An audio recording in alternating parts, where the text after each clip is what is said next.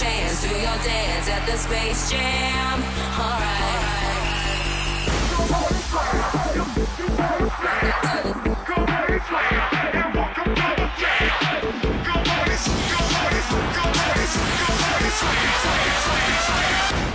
Welcome to Hello and welcome to the last episode of the season of Ram Center. I'm your co-host Cheyenne Dantzler. And I'm James Jackson. Shy, feeling a little bit of the pressure. I Finals know. week coming right around the corners. I know. A little bit of a stressful time. For I know. How's it looking for your finals? I think I only have like two, two like test finals Mm-hmm. tonight, and a couple papers and a project to do. But overall, not too bad. Cool, you know, cool. always gets my stress down. What? Talking about West Chester sports. It does. Let's get into it. Now let's catch up with what our men's basketball team has been up to. The team currently sits at a record of four and four. This past weekend, the team fell short to Slippery Rock University with a close score of 69 to 71. This was on Saturday, but the team the team came back to end the weekend on a good note with the win against Edinboro University, Pennsylvania, Sunday afternoon. On Saturday, Malik Jackson led the Rams with 19 points, and Matt Pinnacle added 14. It was a close game, taking a tip on at the horn for the team to overcome our Golden Rams. On Sunday, again, Malik Jackson was on fire, scoring a season high of 30 points. Jackson Highland added 16 points and Matt Pinnacle 15. The, the Rams forced 24 turnovers and allowed their opponents to only get 48 shots in the game. This one stopped, that, stopped the two-game losing streak and hopefully only up from here, boys.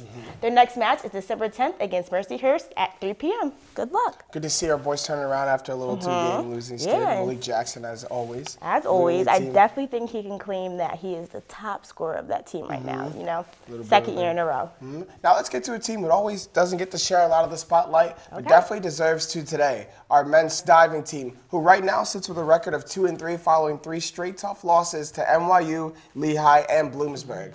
Their last meet was at home against Rowan University on the 12th of November, where West Chester's Daniel Roy was very impres- impressive, posting a score of 356.80 in the three meter. That's enough to qualify him for the mm-hmm. NCAAs. Also breaking through was teammate Jonas Ricci, who accumulated a score of 274.50 in the one meter board, which also was enough to qualify him for the NCAAs. So congrats to both these guys, but the season is not over yet. The Golden Rams travel to Ewing, New Jersey next to take on TCNJ and their diving invitational on Friday, December 2nd at 10 a.m. Yeah. So, some, you know, a team who's not really going to get a lot of the headlines at West Chester, but we have two outstanding athletes Mm-hmm. on our team going and representing uh, West Chester on the national Which stage. very exciting. That's awesome. Very right? exciting. So now we're going to throw it over to Cheyenne with this day in sports. Welcome to This Day in Sports. On this day in sports in 1961, Ernest Ernie Davis, Syracuse University halfback, became the first African American to win the Heisman Trophy. Davis went on to be the number one pick in the 1962 NFL draft and was selected by the Washington Redskins. Davis was immediately traded to the Cleveland Browns to play his idol Jim Brown.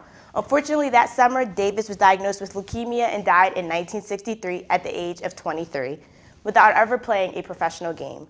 Davis was inducted into the College Football Hall of Fame and his jersey was retired with the Browns. Now over to Marcellus with By the Numbers. Marcellus.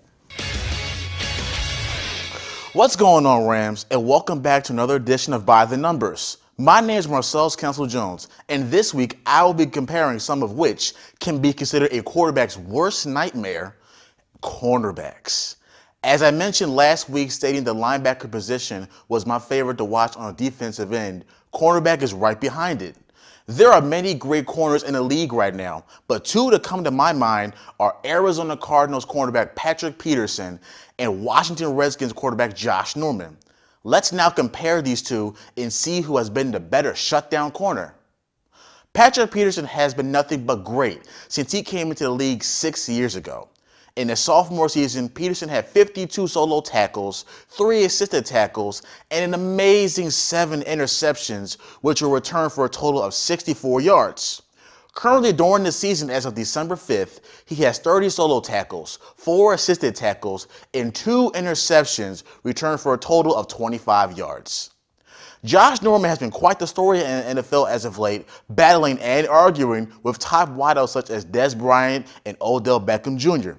During his last season with the Carolina Panthers, Norman had 48 solo tackles, 8 assisted tackles, 4 interceptions, and 2 of those were returned for touchdowns.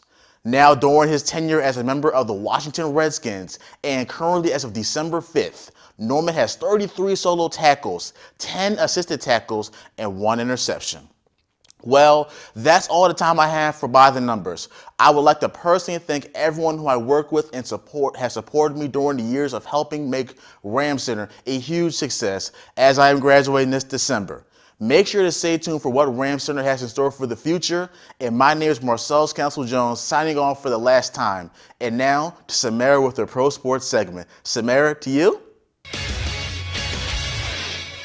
The Eagles have dropped their third straight game and sit at fourth place in the NFC East with a record of 5 and 7 after a 32 14 loss to the Cincinnati Bengals. Scoreless in the first half, the Eagles had to overcome a 19 point deficit where they fell short. Andy Dalton looked sharp, completing 23 passes on 31 attempts for 332 yards and two touchdowns. However, the Bengals had to settle for field goals on two of their first three possessions. The game was the first win for the Bengals since they beat the Browns at home on October 23rd. For the Eagles, Carson Wentz set a new career high in pass attempts with 60, but only completed 36 passes for 308 yards and a touchdown with three interceptions. Wide receiver Jordan Matthews was sidelined due to an ankle injury, limiting Wentz in the air, who was able to connect with tight end Zach Ertz for a touchdown. Likely out of playoff contention, the Eagles will face the Redskins in a division matchup. With the Redskins' loss to the Cardinals on Sunday, the Cowboys became the first team to clinch playoff berth. Switching over to basketball, Russell Westbrook is making a strong case for why he should be this year's MVP, averaging a triple double a game. Westbrook is the first player with five straight triple doubles since Michael Jordan. With 10 triple doubles this season, Westbrook needs two more in a row to tie Michael Jordan's streak of seven games. OKC currently sits at fifth place in the West behind James Harden and the Rockets. That's all I have for Pro Sports this week. I'm Samara Rosenfeld. James and Cheyenne, back to you.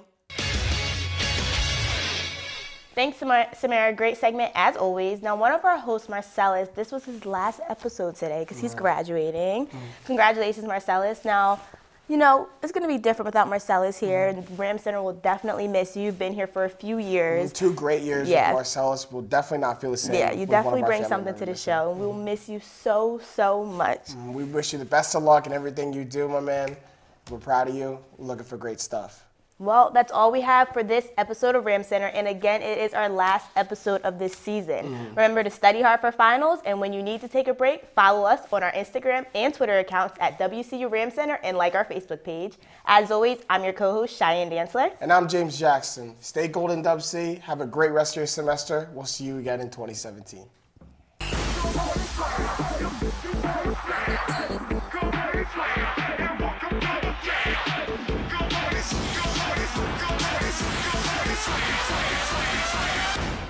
Welcome to